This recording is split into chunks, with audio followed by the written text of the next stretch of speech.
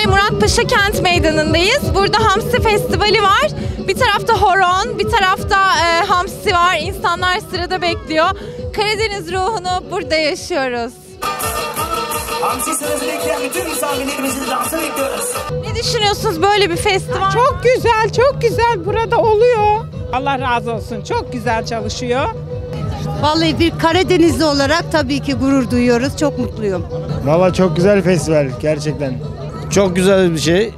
Devamlı böyle olmasını bekleriz. Belediye başkanı çok güzel etkinlikler yapıyor. Sırada bekliyoruz hamsi yemek için. Çok güzel bir şey. Ben de Karadenizliyim zaten. Vallahi çok güzel bir etkinlik. Biz de hamsi yemeye geldik. Belediye başkanımıza teşekkür ediyoruz. Vallahi çok mutluyuz. Bu kadar hemşeriyi bir arada görmek çok güzel bir şey. Ben de Karadenizliyim. Ümit Başkanımız sağ olsun. Yaptığı bu faaliyetlerden çok çok memnunuz. Çok teşekkür ediyoruz ekibine ve kendisine. Tam yerine düştüm.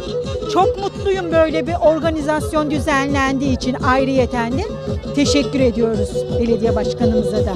En azından insanlar hem eğleniyor hem de bir şekilde bu etkinlik için e, kendilerini daha çok mutlu hissediyorlar.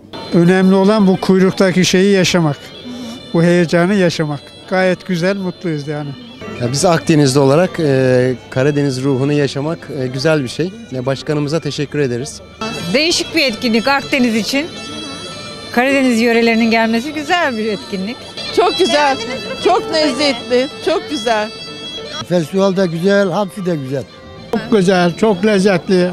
Başkanımıza Allah uzun ömür versin.